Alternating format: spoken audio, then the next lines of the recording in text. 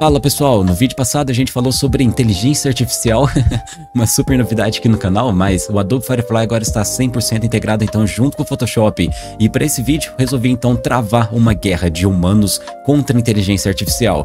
Vamos nessa descobrir se ela seria capaz de estar recriando as minhas artes. Espero que vocês aproveitem, deixem o seu like e o seu comentário e vamos nessa para o nosso vídeo. Bom, galera, como estamos falando aí de inteligência artificial, então, eu vim a caráter hoje, vim vestido como uma, mas vamos nessa então começar o nosso conteúdo e eu gostaria de estar até mesmo dando duas chances para a inteligência artificial, porque a arte minha ela já está pronta, então a gente sempre sai na frente com um ponto a mais. Portanto, eu gostaria de estar testando para ela recriar a arte por completa e também alguns elementos aí que eu acabei retirando. Por exemplo, aqui nessa arte eu tirei aqui então a pantera negra que tinha atrás da minha modelo.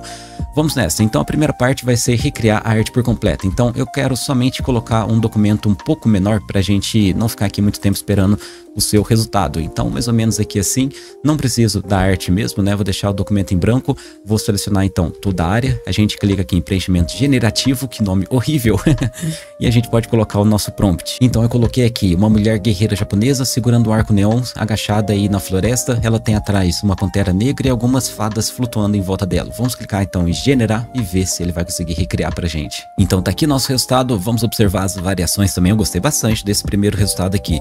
O segundo também muito bonito, que isso, que cores fantásticas. E aqui o terceiro já tá um pouco mais distorcido o rosto, mas também tem uns formatos bem interessantes. Ela tem três pernas saindo por aqui. Eu acho que esse primeiro e até mesmo o segundo com certeza foi o melhor resultado. Ele ignorou também a pantera negra, não colocou nenhum tipo de pantera aqui atrás, mas adicionou também algumas fadas, ou pelo menos aqui também alguns fragmentos de fardas. Eu achei bem interessante que também o arco, não conseguimos perceber o arco, mas nós temos a referência então através do nosso prompt, que foi uma bela tentativa dele de colocar alguma coisa neon e gerando também essa luz aqui na modelo. Então bem interessante, gostei bastante do resultado, mas ainda não ficou né, tudo isso daí que a gente gostaria e até mesmo ele não seguiu também corretamente o nosso prompt prompt. Portanto, meio ponto por enquanto aí para inteligência artificial. Agora vamos continuar então voltando para a nossa imagem e a gente vai estar recriando somente a pantera ou talvez até mesmo aqui algumas fadas flutuando. Então para isso, seleciono uma área menor, mais ou menos aqui do tamanho que ela deveria ser e coloco então Black Panther. Aqui eu não sei até mesmo se ele vai conseguir fazer alguma seleção do nosso modelo e está adicionando o elemento atrás dela, então vamos observar o resultado. Então tá aqui o resultado, o primeiro tá muito caricato, tá muito desenho, vamos ver as outras variações. Esse daqui ficou um pouco mais bonito, ainda não tá tão poderoso, né? A Pantera ela tá com uma cara um pouco infantilizada, parece divertida. E esse terceiro, completamente bizarro, cara. Eu achei interessante que ele gerou uma certa perspectiva, colocando a cabeça dela mais próxima da nosso modelo, mas nenhuma das três eu acho que ficou assim absurdamente legal. Vamos tentar então criar agora algumas fadas e a gente já pode ter então uma conclusão para essa arte. Vou colocar aqui Fair. Ó, tá aqui esse resultado. O primeiro tá parecendo um beija-flor, um vagalume, alguma coisa assim. O segundo tá um pouco mais bonito até mesmo parecido aqui junto com as nossas outras. Parece que ele fez... Aqui ele fez uma cópia dessa outra aqui. Veja só, a posição do braço, das pernas, da própria roupa também tem um pouquinho saindo aqui. Então ele fez uma cópia da própria imagem que eu já tinha. Esperto, hein? E o terceiro, que é basicamente também a mesma roupa, só que ele colocou uma posição diferente. Então esse terceiro já ficou bem interessante. O grande problema aqui da Pantera é que ela não tem também a parte da ambientação, então a gente não consegue observar ela realmente aqui dentro do cenário e a gente tem um grande problema também porque não vem o elemento recortado pra gente. A gente tem aqui então um retângulo exatamente do formato que a gente criou, né? Então eu acho que ela conseguiu então concluir, só que não do jeito que a gente esperava. Então meio ponto eu acho que seria super justo porque também foi muito fácil pra gente fazer isso tudo. Vamos nessa então partir para a nossa segunda arte. Essa aqui foi uma das últimas artes também que eu postei lá no Instagram, então a gente pode estar tentando recriar ela por completo primeiro e depois a gente vai fazer um teste, então adicionando alguns elementos. Então aqui no nosso arquivo menor, vou selecionar toda a área de novo, clicar aqui para escrever o nosso prompt e a gente vai colocar então o seguinte prompt. Uma menina sentada no chão segurando guarda-chuva neon e uma cidade aí noturna, né, e um ambiente noturno com neblina e também aqui no cenário a gente vai ter alguns banners neon com alguns robôs flutuando, né, voando. Vamos clicar aqui em gerar e observar o resultado. Aqui o resultado então, galera, vamos nessa observar. O primeiro respeitou bem então o nosso prompt, ela tá segurando o guarda-chuva que não é neon, mas a gente consegue observar toda a cidade, todo o ambiente noturno, talvez um pouquinho de fumaça também. Não é nada interessante, né? Por enquanto, vamos observar as outras variações. Essa segunda já respeitou ainda mais o nosso prompt, porém ficou mais bizarro também, né? Os drones aqui não ficaram nada interessante, parecendo robôs de algum desenho que tem as pernas pequenininhas, a cabeça muito grande. O guarda-chuva aí tem o neon, tem a menina sentada também no chão, a cidade atrás, mas vamos ver aqui a nossa última. E também eu acho que não, hein, galera, que ela tá sentada até mesmo do nada, o guarda-chuva tá saindo da mão dela, meu Deus. A cidade no fundo, tá, isso daí eu acho que seria uma coisa muito óbvia dele estar entendendo e representando aqui pra gente. Também a neblina sempre representa muito bem, né? Mas eu acho que para esse daqui ele não acertou e para mim não vale aí, então nem mesmo o meio ponto, hein? E lembrando que o meio ponto é relacionado se ele consegue representar muito bem aí o nosso prompt. Na outra ele esqueceu algumas coisas, mas pelo menos ele trouxe o resultado aí que seja utilizável, né? Para esse daqui eu acho que nenhuma delas eu conseguiria estar utilizando, eu não gostei realmente de nenhuma delas. Então por enquanto, dois humanos e meio ponto então inteligência artificial. Mas outras chances estão para ela, como eu disse, a gente vai estar tentando recriar a imagem completa e depois também alguns elementos que poderia ajudar aí nessa pontuação, hein? É mais ou menos um apoio bem grande meu para inteligência artificial. Então, vamos selecionar uma área menorzinha aqui, mais ou menos no canto, e a gente coloca um robô flutuante. Aqui eu quero colocar até uma ajuda, como referência que a gente já então conhece, a gente já tem fotografias. Vou colocar então um drone dark aí com neon. Clique em gerar e vamos nessa observar. Vejamos só, tá até interessante, eu gostei bastante das cores dele, né? Vamos ver aqui as variações, esse daqui representou ainda melhor. E esse daqui não ficou nada interessante, não tem nem mesmo o formato aqui de um drone, só tem o neon. Esse só não teve o neon, mas o formato ficou muito bom e esse eu acho que foi a somatória de todos. A gente gerar um zoom aqui para tentar entender, ele com certeza não fará muito sentido, mas achei bem interessante e para mim vai ser válido, por mais que seja uma coisa muito simples, eu imaginava que ela realmente conseguiria fazer, mas ganhou então aí meio ponto, dois humanos, um ponto inteligência artificial. Quero só continuar, quero colocar aqui, por exemplo, um robô. Eu vou colocar um robô na chuva vestindo um terno. E olha só, faltou cabeça, né? Mas vamos ver as outras aqui. Esse daqui ele acabou adicionando até mesmo a perspectiva, então ele colocou um desfoque também aí no robô, nas pernas deles, não tanto, né? Mas interessante, eu acho que esse daqui foi o melhor mesmo, que tá mais clipadinho junto com o nosso cenário. Tá muito iluminado, tá muito iluminado também, e esse daqui foi o mais bonito de todos. Então, valeu meio ponto. Meio ponto ainda para inteligência artificial, mas continuamos ganhando, galera. Vamos observar agora então a nossa terceira imagem. Para essa terceira, eu gostaria de utilizar essa manipulação minha, porque eu tinha o pensamento de colocar talvez alguns cabos aqui embaixo, colocar mais elementos aqui na parte do chão, só que eu fiquei com um pouco de preguiça.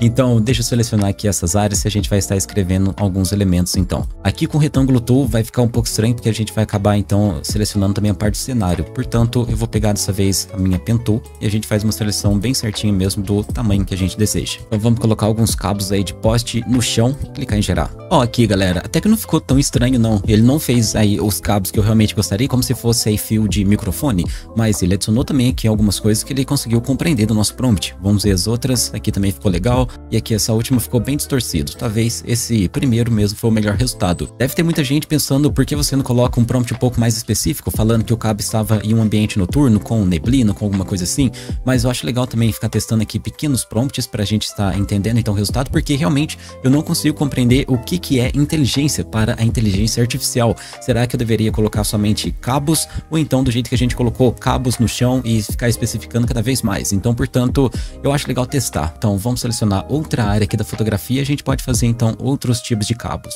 Aqui eu quero colocar então o cabo de microfone no chão. Bom, esse primeiro aqui não trouxe resultado algum, vamos ver o outro também aqui nada e aqui também nada. Então, pelo jeito, ele não conseguiu compreender absolutamente nada do nosso prompt. Então, por enquanto, está um pouco indeciso. Não sei se coloquei um prompt errado ou se ele realmente não conseguiu compreender o que eu gostaria.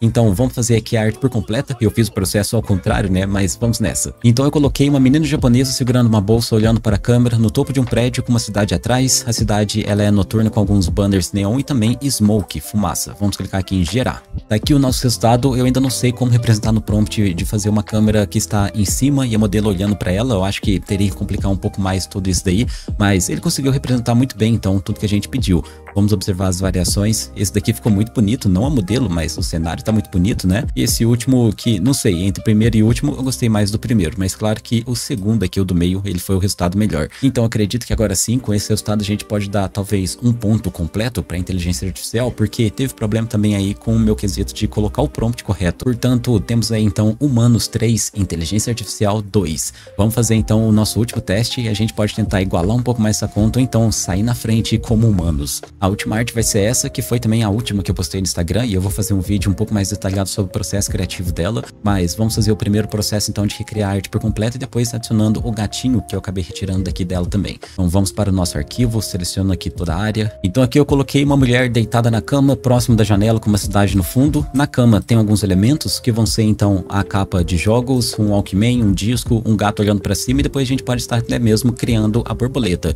Então primeiro vou colocar esse prompt e clique em gerar. Então estão aqui os nossos três resultados. Esse primeiro ficou muito bonito, gostei bastante, ele representou super bem, tá muito realista também, tem aqui as capinhas de jogos, não tem um Discman, não tem um gato, mas eu gostei bastante, até mesmo as mãos ele acertou muito bem. A segunda teve esse pequeno problema aqui junto com os olhos, eu não gosto quando eu coloco essa tonalidade branca, mas também representou super bem, eu achei também muito bonita e super realista.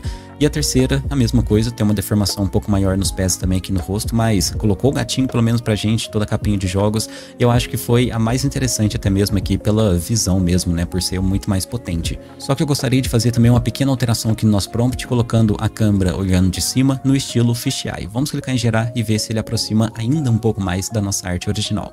E galera, acabou dando um pequeno problema, não sei qual que é esse erro aqui, mas ocorreu um erro durante a geração da sua imagem. Então eu acho que a gente já pode considerar aqui que deu um ponto positivo e vamos fazer então o nosso último teste para colocar somente o nosso gato. Aqui eu vou selecionar a área mais ou menos onde ele estava realmente mesmo e colocar então, então um gato olhando para cima, clica aqui em gerar. Bom, galera, esse primeiro aqui não fez o gato olhando para cima, o segundo também não, esse terceiro, esse terceiro com certeza não representou o que a gente gostaria, então eu acho que o segundo foi a melhor opção, ficou bem realista, ficou muito bonito, mas não representou o que a gente gostaria aqui no nosso prompt. Mas de todo jeito, eu acho que valeu o ponto por ela ter recriado a arte por completa, sendo bem realista, seguindo bem o nosso prompt, e fica aí então o resumo de tudo, onde humanos foram 4 pontos e a inteligência artificial saiu então com 3 pontos. Galera, eu acho que a gente pode concluir também várias outras coisas interessantes, como por exemplo, o óbvio seria que ela perdesse ou até mesmo igualasse junto com a gente, já que a gente estava sempre um passo na frente, então no máximo ela poderia estar igualando aos pontos, mas passar a gente seria somente se ela tivesse ultrapassado o que eu já fiz com todo o controle que nós temos aí no Photoshop. Então